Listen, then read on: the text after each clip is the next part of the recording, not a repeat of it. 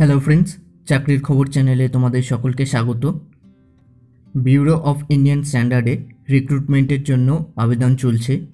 তার official advertisement থেকে কিছু ইম্পর্ট্যান্ট জিনিস আমি তোমাদের সাথে শেয়ার করব।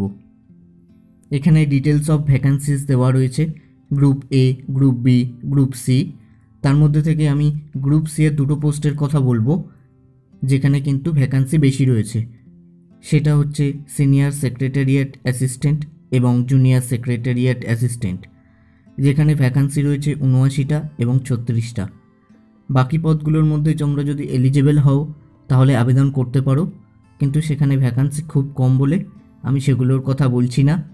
তো সিনিয়র সেক্রেটারিয়েট অ্যাসিস্ট্যান্টের জন্য তোমাদের জেনারেল গ্র্যাজুয়েট হতে হবে যে কোনো বিষয়ে তোমরা যে কোনো শাখায় গ্র্যাজুয়েট হতে হবে এবং কম্পিউটারের নলেজ থাকতে হবে।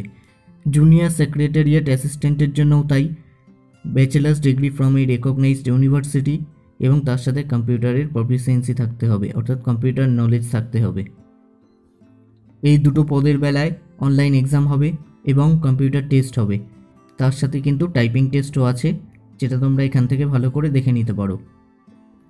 অনলাইন এক্সাম প্রসিডিওরটা কী হবে, পুরো ডিটেলসে কিন্তু অ্যাডভার্টিজমেন্টে দেওয়া রয়েছে, তোমরা এখান থেকে খুব ভালো করে চেক করে নেবে। Upper reach relaxation SC ST OBC যেরকম যেরকম পায়, সেরকম সেরকমই পাবে। এবং আরেকটা গুরুত্বপূর্ণ জিনিস ওয়েস্ট বেঙ্গলের কলকাতায় কিন্তু আমরা এক্সাম সেন্টার পাচ্ছি। এখানে কিন্তু কলকাতাতে টেস্ট সেন্টার বা টেস্ট সিটি রাখা হয়েছে।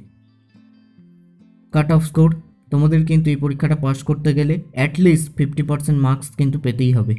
এখানে কিন্তু সেটা খুব ভালোভাবে বলে দিয়েছে। অ্যাপ্লিকেশন ফি কত? অ্যাপ্লিকেশন ফি হচ্ছে পাঁচশো টাকা।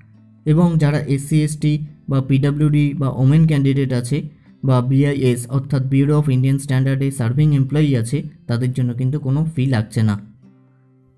শিডিউল অফ ইভেন্ট রেজিস্ট্রেশন কিন্তু শুরু হয়ে গেছে পাঁচ তারিখ থেকে, পাঁচই সেপ্টেম্বর থেকে, যেটা চলবে হচ্ছে ছাব্বিশে সেপ্টেম্বর পর্যন্ত।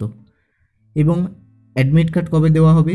কুড়ি অক্টোবর দু হাজার কুড়ি, যেটা কিন্তু টেন্টেটিভ এবং অনলাইন এক্সামের একটা ডেট দিয়েছে, সেটাও কিন্তু টেন্টেটিভ সেটা হচ্ছে আটই নভেম্বর দু হাজার কুড়ি।